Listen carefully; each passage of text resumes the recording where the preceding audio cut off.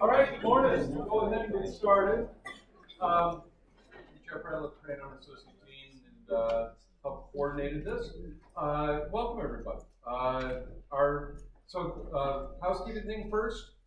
Silence these, please, please, please. Uh, as I mentioned to the previous group, we don't want to have to come around and hurt you. Um, and of course, somebody's cell phone went off uh, towards the end of Nadia's talk, and we had to we had to hurt her. So no, all right, turn them down, check them. Um, we will be video recording the, uh, the presentation, uh, so uh, and have that available over in the, uh, library uh, for, for viewing for those of you who might need to take extra notes along the way. Uh, obviously, we have other presentations throughout the day up until about four o'clock. At seven o'clock tonight, in the same room, we have another psychology presentation, the Stone Lecture with William Liu. So. Once again, everybody is welcome to, to come back for that and be part of any of the uh, presentations and events over the day. Uh, to introduce our, our next speaker, every, every symposium day we bring in uh, a young or recent alum. I have to say, one that, it, you know, we're at least for into the next calendar year, uh, is probably the most recent uh, one that we that we have brought in, and, and, I'm really happy that have it. This is probably a little bit of a, almost a homecoming to you a little bit. A little bit. Uh, and some of you might recognize uh, Kyle from uh, from his time here. Uh, so Kyle Holder is a 2017 Augustana graduate uh, in biology and psychology, and is in, currently in the Accelerated Master's Nursing Program at St. Louis University. as you've noticed from the, the description of the talk and of the bio, that living with and working with and dealing with mental health is uh, something that, that is passionate about, personal, and uh, really affects all of us in a number of different kinds of ways. I'm really, really happy to have you on, on campus to talk to us. So please welcome Kyle, welcome back to Augustana campus, Kyle Holder.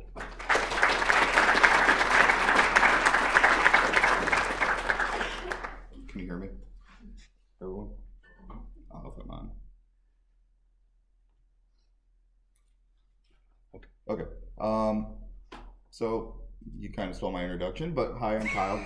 Um, just a small disclaimer, and he kind of even touched on it. I'm going to talk about specific mental illnesses, uh, and not everyone with the same mental illness experiences it the same way. So, um, just wanted to say that before I get going. So, soon after graduation, um, I got married, uh, and then the day after that, we went on our honeymoon. And our honeymoon took us, uh, we flew out to San Francisco, we drove down the coast, went to Los Angeles and Anaheim, and then we drove out to Las Vegas. And that's where this story begins. Um, the day that we were in Anaheim, and then we went out to Vegas. So uh, we went to Disneyland because I had to go see the Big Mouse. I'm a big Disney nerd. Um, we had a pretty good day. Decided to call it early. Uh, hit the road. Um, hit the road and get uh, to Vegas. And for those of you that don't know, uh, it's about a four hour drive, straight shot from Anaheim to Vegas. Uh, it's across the desert, you're going to touch the Mojave, um, and you're, um, you have two or three stops at most. So, with my uh, mental illness, that was something that already was starting uh, to draw red flags for me. So we start driving. My wife's talking to me, trying to just keep me occupied while I drive. Um, and the ride's going pretty well. And we get about halfway there and it starts getting dark. And then it hits me. It literally feels like someone had punched me in the chest. And it kind of starts creeping up, and your chest is getting tighter and tighter and tighter. And then it feels like somebody's grabbing you by the throat and choking you. So I'm starting to think, okay, here we go again. My hands start to tingle, my feet start to tingle, and at that point, I know I'm not driving safely, so I pull over. And I look at my wife, and she goes, "Are you okay?" And I said, "Yeah, I'm fine. I'll. It's just another one." So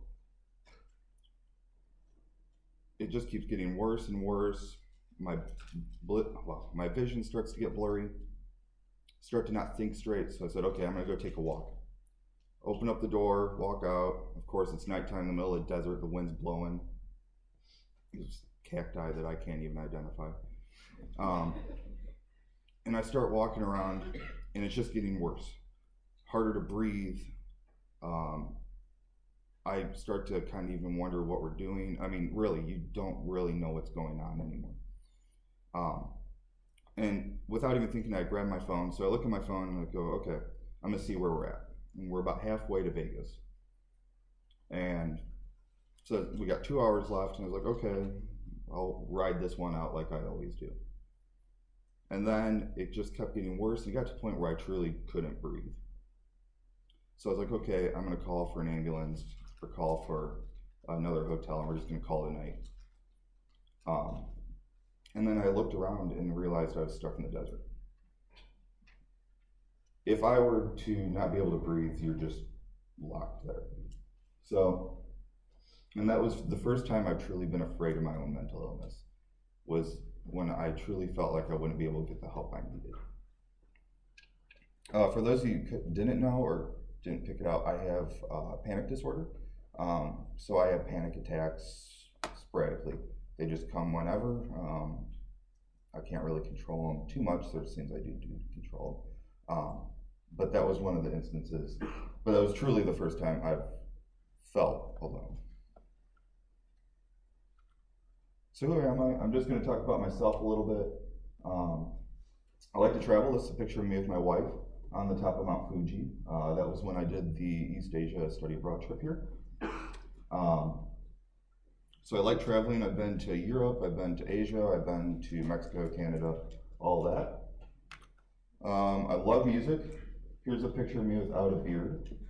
Um, playing guitar, I love playing guitar. It's really uh, relaxing to me. Um, and then the picture of me giving the peace fingers uh, was over this past summer. I went to Warped Tour, and met one of my favorite artists, Watsky. Uh, the picture right here is from Red Rock Canyon.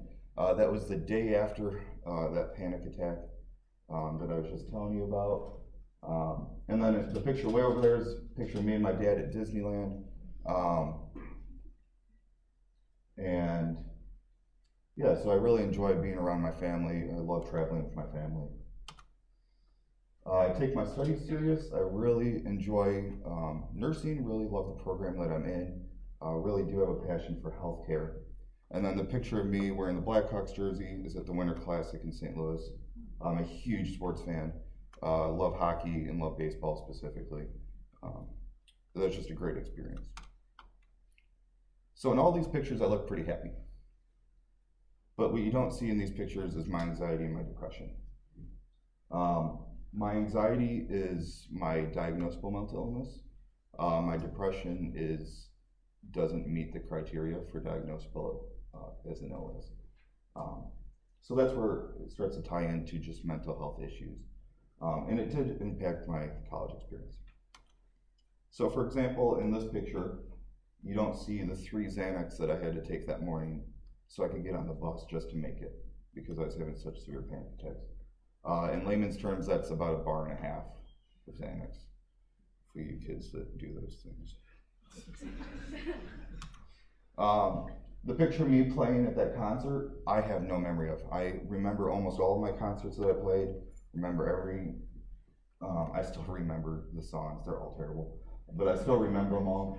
Um, but I blacked out. I don't remember that concert at all. I was. I just remember being anxious beforehand and don't remember that. Uh, the picture of me with the artist there. Um, that was the day after I locked myself up for four days in my room over the summer um, this past summer. I was working for the the River Bandits. I was doing a job there, and then I was working at Subway. Uh, I had to quit my Subway job because uh, I just wasn't making my shifts. And thankfully, the Astros people were kind enough to let me keep my job. But either way, um, that entire day was just panic attacks after panic attack after panic attack. And the only reason I went was because of him. So I'm happy, but it was a rough time. Same here with uh, Red Rock Canyon. Uh, people with panic disorders are more prone. So if you have a panic attack, you're a whole lot more prone to have a panic attack soon afterwards. It's kind of that fear that you're going to have a panic attack that can actually make you have another panic attack. Um, so this was so driving right back out into the middle of the desert to go to a canyon wasn't necessarily my ideal thing, um, but the wife really wanted to see some nature. So Uh, and then the picture of me with my dad uh, was taken before I came here to Augustana. And honestly, the only thing I remember of that trip is being feeling depressed. Um, I had, I'm sure I had fun, but looking back on it, that's my memory is that. So a lot of the things I've done have been ran by that. Uh, both of these trips, uh, I had to stop about every half hour because of my anxiety. Um, I live in northern Illinois, used to live in northern Illinois, and driving down just to St. Louis uh, turned a five hour trip into a seven hour trip. So it's impacting my daily life, it's impacting how um, I behave. So, depression and suicidal ideation. Uh, so, I've talked a lot about my anxiety. Um, when I was in high school, I really started coming to terms with uh, that I had something wrong with me, but uh, really didn't know how to handle that. I have family members, I hear other people's family members say, oh, that crazy person, that crazy uncle, that psycho. Those sort of things, when you live in a small town like I did, uh, prevent you from doing getting the help that you need. And so, not getting the help I need led to me having more anxiety attacks and being more depressed. Um, in general, just not being in a good state of mind. Um, and then I got to the point where, um, for lack of better words, I just wanted it to end. I was sick of the anxiety attacks. Uh, I was sick of the panic attacks. Um, so I started getting suicidal thoughts. Uh, my dad and I hunted a little bit. Uh, so one night I went downstairs and I remember I just looked at the guns. That would have been my way out. Quick, painless, you would think. Um, but it's just, I don't know what stopped me, don't know what turned me around. But that moment kind of shaped how I viewed my own mental illness because I saw that was finally when I said, okay, I really truly need to go get some help. Um, when I'm starting to think about taking my own life and I have a whole lot to live for. So, what led to the speech? So, my own struggles. Uh, like I said, during high school, really didn't get much for help. Uh, I went to the doctor once and we started some cognitive behavioral therapy sort of stuff. Um, when I came here to Augie, I finally started on medication. Um, my mental illnesses, mental illness, and mental health uh, did impact my time here. Um, I was president of my fraternity while I was here, um, and I actually had to step down because I couldn't manage my own mental health and manage school at the same time. Um, I missed out on events with friends. I would avoid doing things um, just because I was afraid that I'd go out, and do whatever, and have a panic attack. And then once I finally got to grad school, um, I noticed something a little odd. So you know how you get those new when you come to a new college, you get a new email. Well, you come here to Augie, you get your email, and you probably don't get too many emails that say X person has passed away. That's it. And then at the bottom it says counseling services, go here and here. Before I had even started at St. Louis University, I opened up my email and I had roughly seven of those notifications of students that had committed suicide while they were there. And that was just over the summer. So it's obviously a large issue around uh, campuses. Uh, friend suicide, so there was this girl that I grew up with. Uh, we went to Europe together, um, high school together, uh, and she was actually part of the reason I came here. She was a student here, and last year she committed suicide. Um, and then looking back on my text messages with her and talking to her, I always kind of wondered why we grew apart. And a lot of that was due to I didn't understand why she would lash out or why she would act like a completely different person. Um, not to blame myself, but there were things I could have caught and realized there's something going on. I could be there for her, um, could be part of a support system. Um, and then attending a larger school, like I already said, the email thing um, was a big red flag to me. So, really got me wanting to speak out.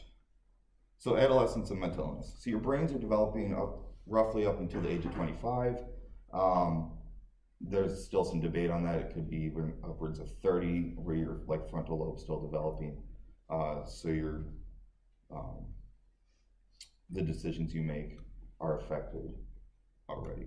Um, approximately 75% of all mental illnesses will be diagnosed by the age of 24. Um, so that's you guys. You're right in that that age group. Everything you do is affecting the connections that are being made within your brain. Uh, it's shaping how you're going to handle situations for the rest of your life.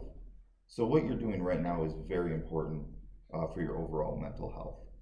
And then roughly one in five adults has a diagnosable mental illness. So if you look to your left and look to your right, you're probably seeing multiple people statistically with a mental illness of some sort. So mental illness is on the rise on campuses.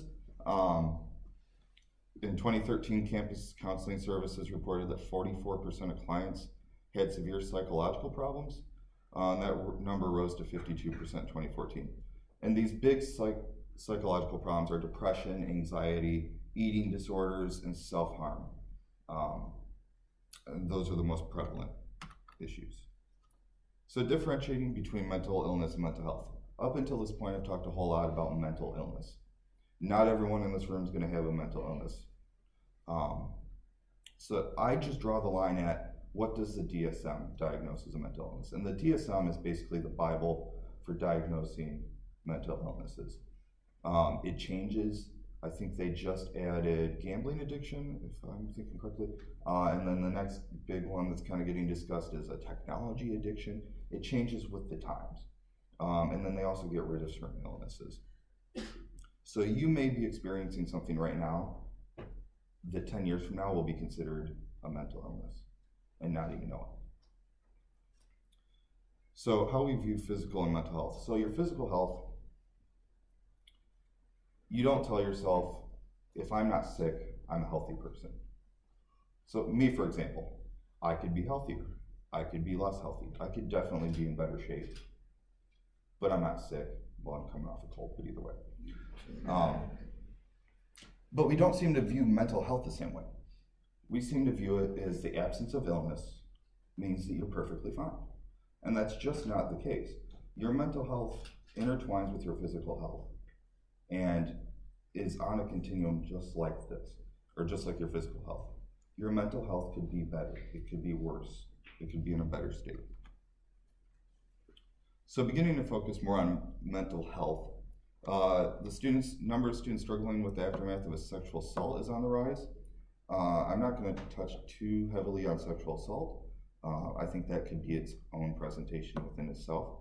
Um, but people that are sexually assaulted um, do go through some traumatic experiences. They need a support system um, and definitely need to have their mental health taken care of. Um, so it's just going to make a small point about that. And then the number of students performing self harm is on the rise too. So in this picture, it's a picture of me and my wife in Japan. Um, my wife is one of those people that harms herself. Uh, she cuts herself, um, usually like under the breast or on the, the wrist, uh, and that affects what she wears um, and so on.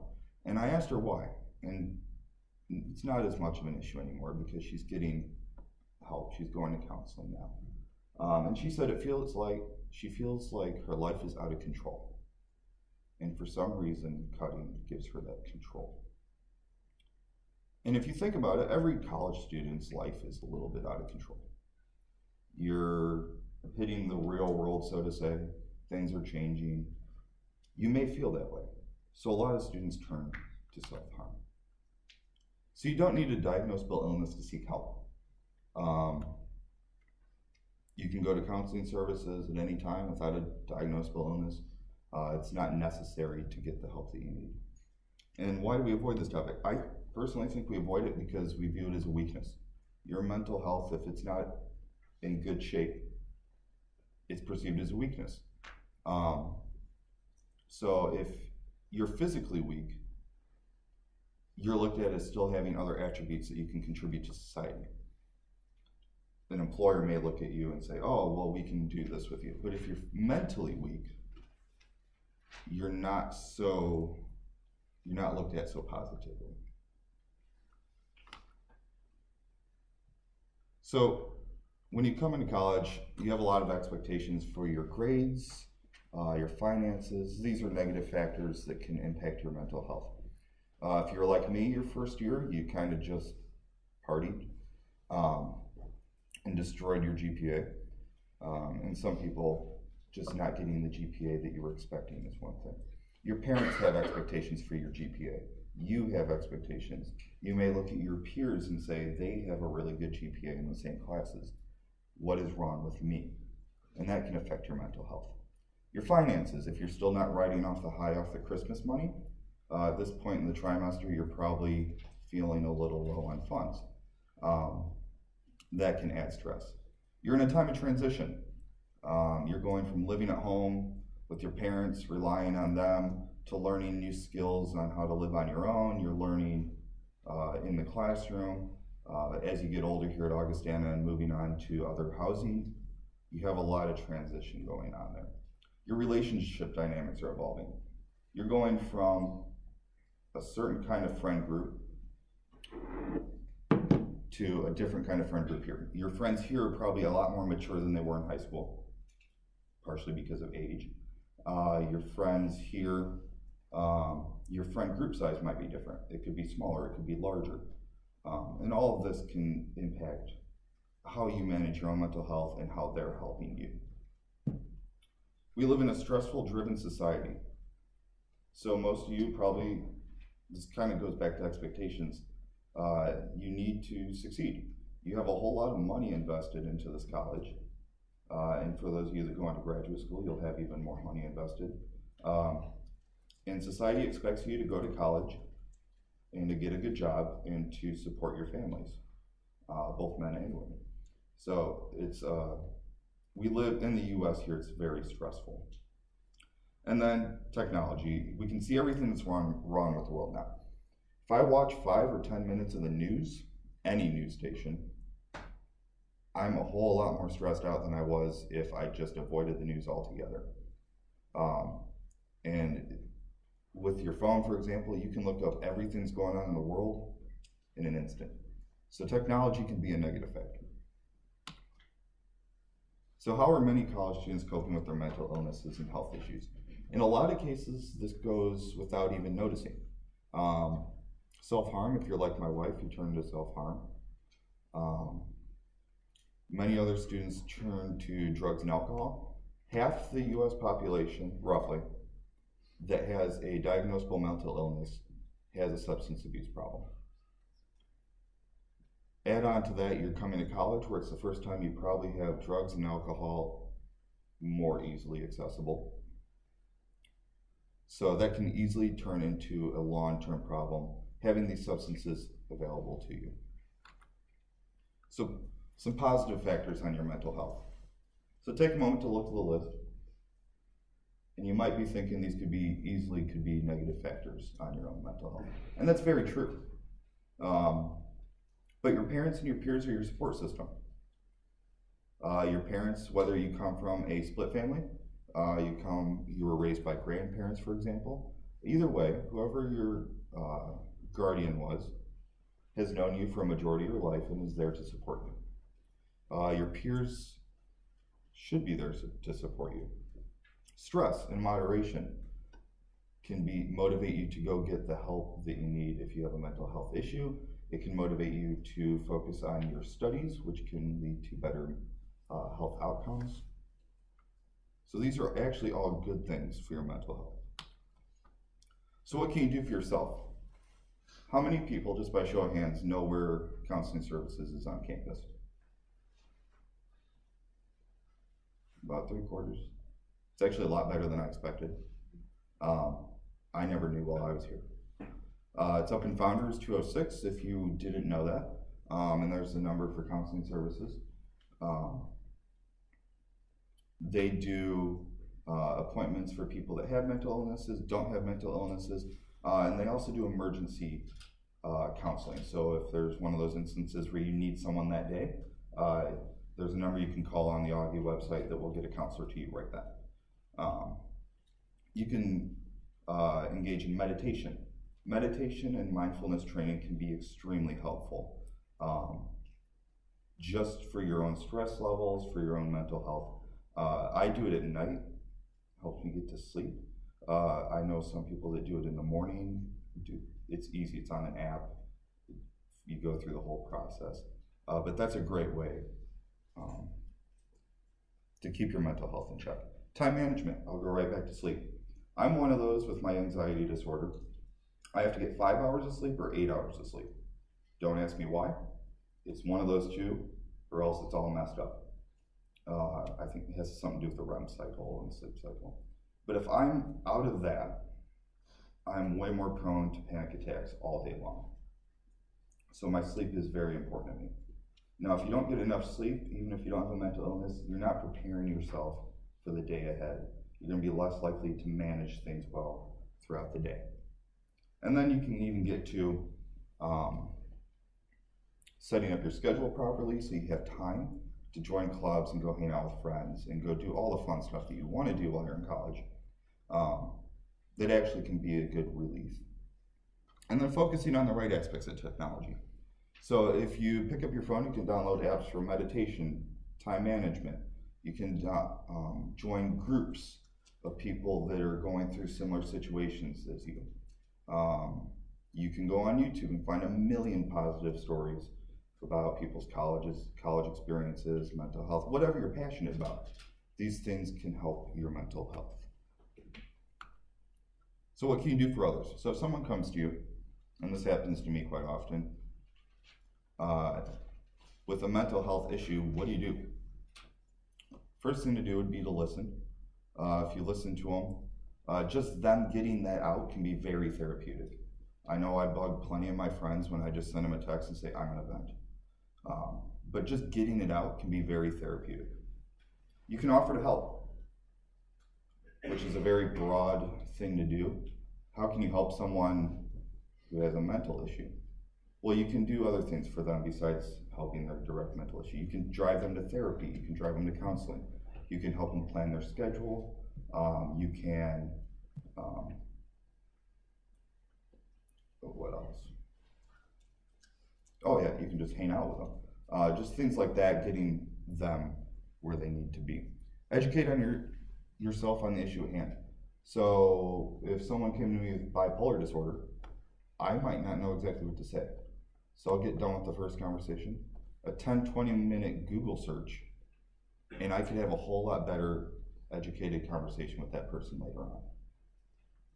Focus on your own health. If you're helping other people, uh, it can take a toll on your own mental health. That can be rough. Um, you may be too empathetic and take on some of their stuff. Uh, so you need to focus on your own health. I like to think of it as like going to the gym, and if your trainer is in worse shape than you, do you really want to go to them? Same with mental health. Be make sure your mental health is where it should be, and you'll be uh, better able to help others. Follow up and support. So don't just help them once and say, oh, they're out on Happy Island, it's all good. Uh, never have to worry about that again. Just showing that you still are going to continue that support can help accelerate how fast that person will recover from whatever issue is at hand. If suicide comes into play, reach out for professional help. Um,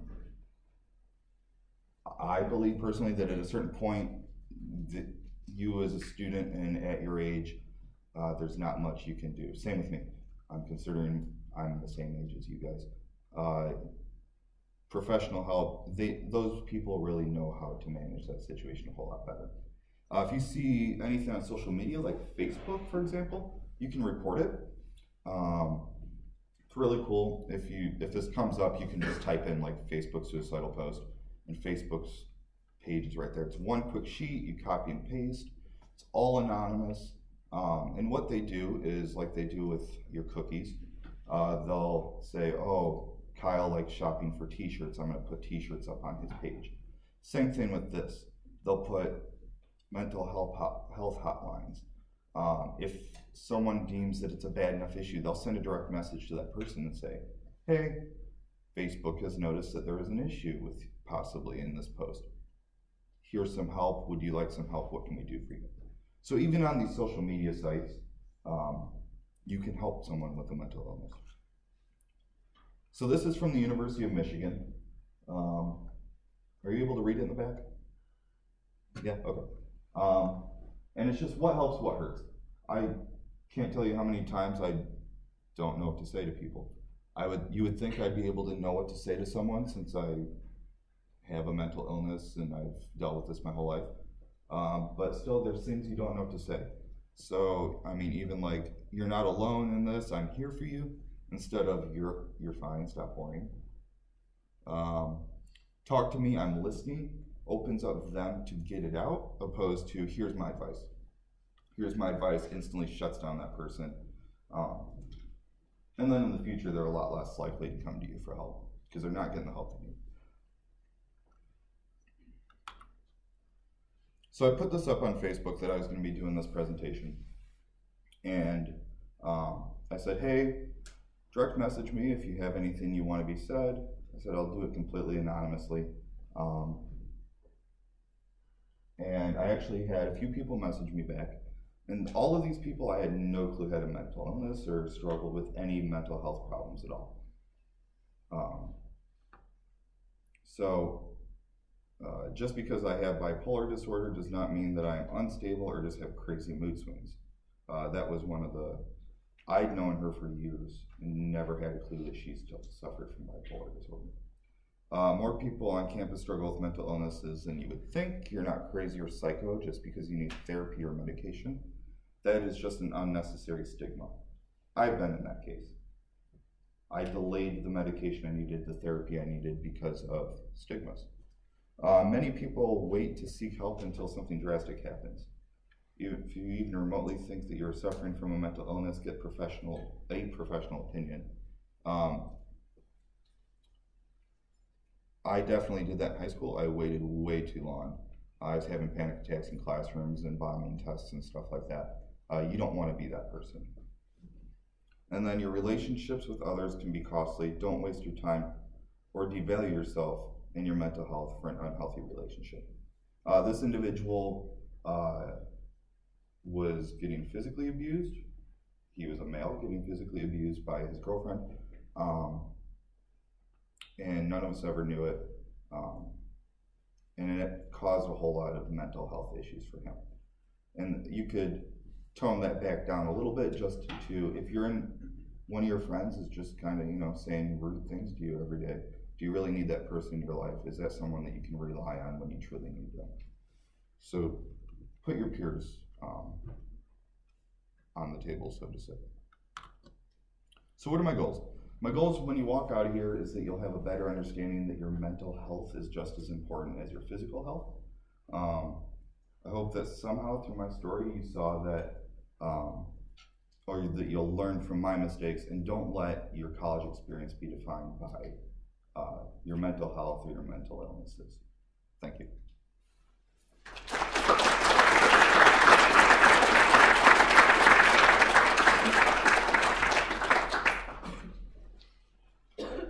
Any questions? You can feel free to leave if you need to. Are there things that professors can do to support their students even if they haven't come directly to them and said I have mental illness? Uh, yeah, so she asked if, is there anything that uh, professors can do if you haven't directly said, if the student hasn't directly stated they have a mental illness? Yeah, okay. Um, I never had an issue at Augie with that personally. Uh, I've heard of professors that aren't really big on the idea of um, getting the extra, like allotted time for tests and stuff like that. Prof- some professors could be a little bit more lenient in that. Um, not really. I mean, I'm not huge on this the quote safe space. Um, I think college is a time where you're supposed to expand uh, your your beliefs and your thinking. Um, and mental health is one of those where I think the discussion needs to be had. But I also think that I would be more afraid that students would use it as an excuse. I wish I had a more positive switch on that one. Uh, but yeah, no, I really felt like the professors here did everything that they could do. Uh, maybe switching it up for, um, structure, a little bit more structure sometimes, that could help. Dr. Wolf? I traveled you, with you for quite a while, and I'm pretty surprised by your revelations, though clearly I was clueless. I don't know if there was something that I could have done, should have done, or, or, or in another faculty member in, or friend in my situation, traveling with, with folks who have mental illnesses that don't want to reveal it or can't. What do you suggest in those situations? Um, uh, for those of you that know, Dr. Wolf went on the East Asia trip with us. Um, I did bring it up to the people in charge of that trip, um, and there were discussions at points in the trip um, where if I felt like I needed to stop and take a day off or whatever. Um, the big thing, I guess, if you're talking specifically study abroad, uh, it is really rough just going nonstop, uh, especially for someone with a mental illness. Uh, that was the issue I ran into. But getting students to actually speak up about it, um, I guess you could do it where it's more of a written thing. I don't know. Uh, so, like, you know how before a study abroad, you have all those meetings before you leave.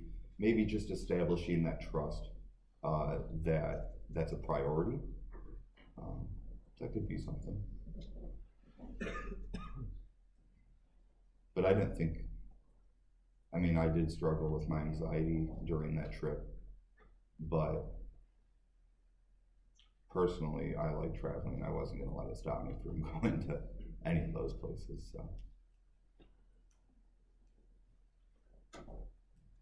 I'm just curious if you can kind of talk about um, how you conceptualize. I don't know. I struggle with the term mental illness, mental health. You know, um, how you, how you think about it differently based on the situations that are at hand. Um, you know, from my experience, I can't approach every situation saying I'm going to just fight this thing. Mhm. So if you can kind of talk through some of the some of the thoughts that might be going through your head, how you approach different situations. I know this is very kind of vague. Um, my questioning. Mm-hmm. Yeah, so like,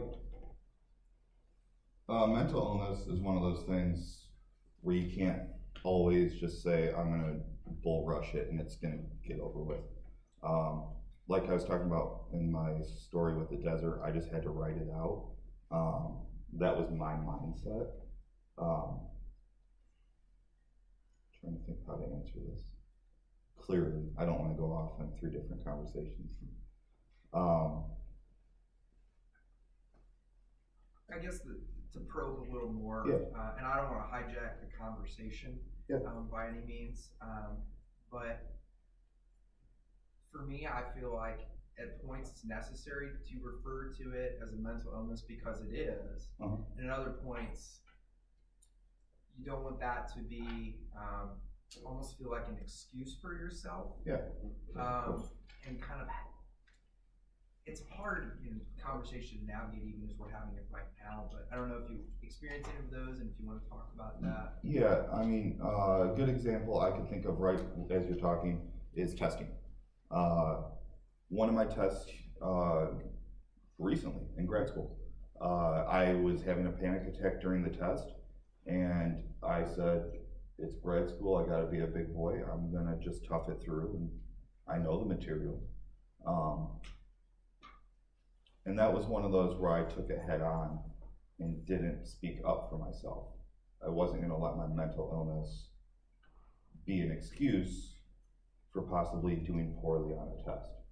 Um,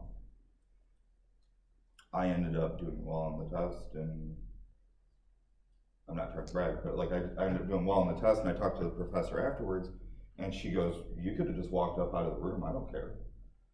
I mean, so I guess transparency is very important If you're open with your professors and you're open with your peers, that you feel like you have something going on inside inside your head, so to say, um, you'd be amazed at how many people are accepting of that. Because I mean, and you get to the real world, you get a job, your boss will be accepting of that, most likely. I mean, it's not like I could go miss five days of work as a nurse. I hope I answered your question to an extent.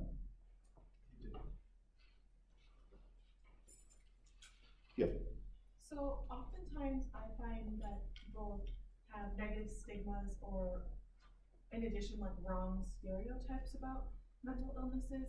And how do you best address people who don't have the, the right information or Mhm. only base their knowledge of, me- of certain mental illnesses based upon those negative stereotypes and stigmas? I love that Best question. inform them? Yeah, yeah, I love that question. Um, I actually should have touched more on that. Um, I tend to approach those situations where someone has the, a stereotype that they're using, um, and flat out kind of laugh at it. Uh, that's just my personality. I find it humorous. Um, but at the same time, they just don't know. So you can try your best to educate them. And by educate, I mean don't you, you got to listen before you're going to speak and change someone's opinion on something. So if someone's being uh, talking about stereotypes and they're ranting, for example, I've been in a few situations where mental health comes up and they just rant on these crazy people and this and that. And you got to let them get it out so they know that you're listening. And you may find something in there where they're not so far off, actually. And you can use that to um, to talk to them, to have a real discussion. Um, internally, I laugh sometimes at it. I don't actually laugh at people, but um, yeah, I mean, there's plenty of people that are just ignorant, and it's not. I'm not using ignorant as a bad word. Ignorant, in the very simple sense, is just not knowing. So I think that uh, these stigmas that come out uh, definitely don't help. Um, but it's a good starting point of conversation um, as to the real issues at hand. Does that answer your question? Yeah. Yeah.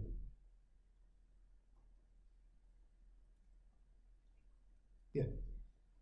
Thanks for sharing your story, Kyle. Um, so you mentioned that you didn't know where the counseling center was or counseling Mhm. services was located on campus. And so I was just wondering, um, if you wanted to share your experience or think broader than just your experience on, um, you know, were there barriers or obstacles in your path in terms of using the counseling services on campus? Or, I mean, is there something that counseling services could do to, uh, make sure that it's more accessible to students? Whether that's like physically or accessible or, or, I mean, just putting it out there so that they know, we know that they exist. So things might be a little different now than my freshman orientation, uh, but it starts there.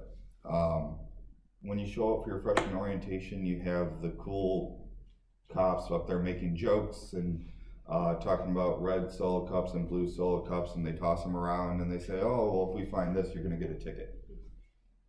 That stuck with me. I mean, I still remember that. Um, but I don't remember counseling services coming up once. So I think right out of the gate, uh, counseling services like public safety, which is very important too, don't get me wrong, but should be out there saying, here's this number, put it in your phone. And we're gonna hit you sixteen times with this, so just put your number, the number in your phone the first time. Um, and I think people are a whole lot more willing to call. Um, I've called public safety for flat out, you find someone too drunk, passed out on the sidewalk, well, I can call public safety, it's already on my phone. Opposed to, I'm having a panic attack, it's been going on for a while, I have to look it up, and this, this sounds terrible, but I'm just too lazy to go look it up. So I think that would be a good thing counseling services could do is hit the freshmen right away, first years. Hit the first years the second they walk through that door. Um, yeah. In the back. So you mentioned a lot about your study abroad experience. Uh-huh. Um, I, I didn't have the opportunity to do that in my time here, but, um, I'm assuming that any supervisor has some sort of medical form on the students involved, whether it's something about asthma. Is Yep. there a section on that for mental health, and would that be useful? Uh, I don't remember if there specifically was. I did put it down. I know I put down my panic disorder. Uh, the big thing I, it, it says any physical issues, if I remember right. Um, I was needing three months supply of medication. Uh, so that was part of the, the process there. But yeah, if, uh, yeah, if you did do a study abroad, that would be good. Any psychological problems, issues, mental health? Um, because there were, uh, some people on our trip that did struggle. Um, I think one of them ended up dropping the trip. I feel like that would help people like Dr. Wolf, uh, have a better understanding of the students and their Yeah. as well as how to interact with. Yeah, yeah, no, like, yeah, because I never felt on my study abroad that the professors didn't care or didn't want to know that stuff. There are different roles for certainly the director of the program. Yeah. And had access to those forms as, as an instructor, I was not privy to that. Yeah, I guess maybe a little bit of that, or, I mean, even as simple as just, uh, you sign here and you agree that the rest of the faculty that's going on the trip can see all this information. Something that simple. Uh, and if Dr. Wolf, for example, would wanna go and look at that, I mean, a few minutes out of his day, he could just look at one spot on every paper and know. Um, and that comes into play, I mean, if we were in the middle of, we were halfway up the mount of Mount Fuji and I start having a bad panic attack, they're gonna think that I'm having, um, oxygen issues. And that's not the case. I'm having just a panic attack. Um, so that's the kind of thing that, yeah, I guess there should be a little bit more transparency on and maybe should be looked at in the future. Yes.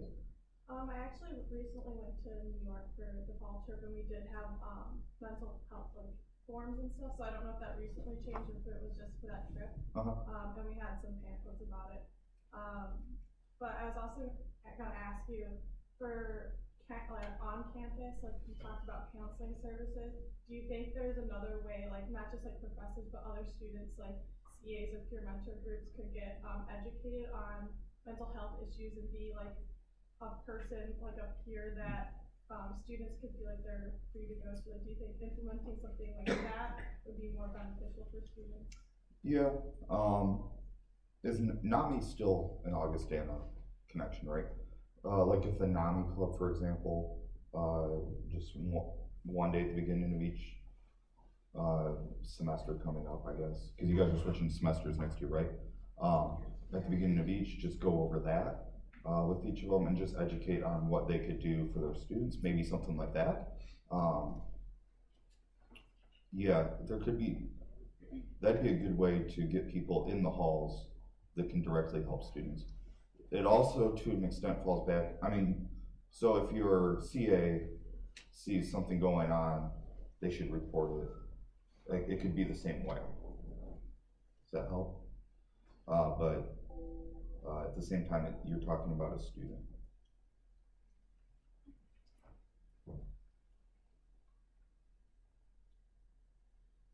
If I had more time to think, I could probably think of some really solid answers to that one.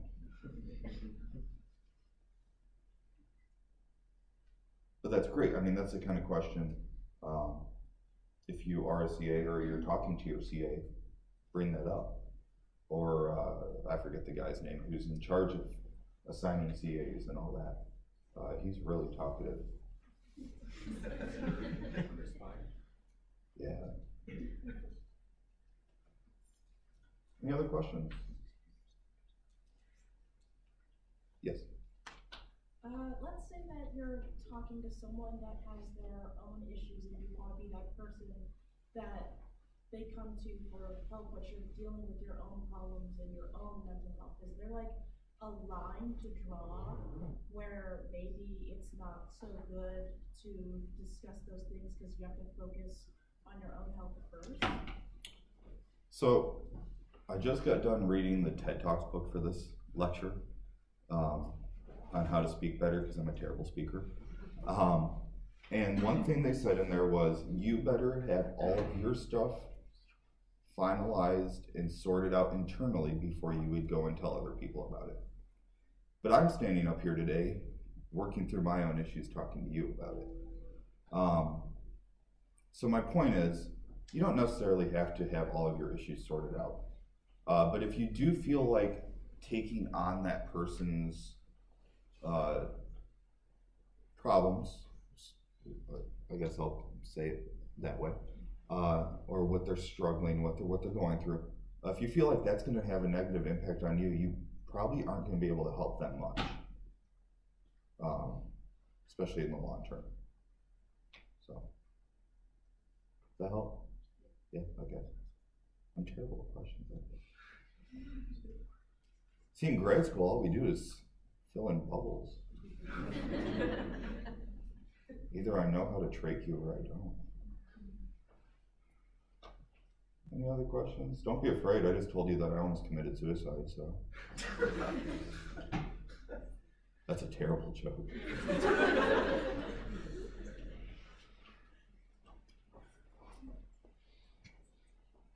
Well, thank you. Um, I do really, uh, I'm really happy that all of you came out to listen.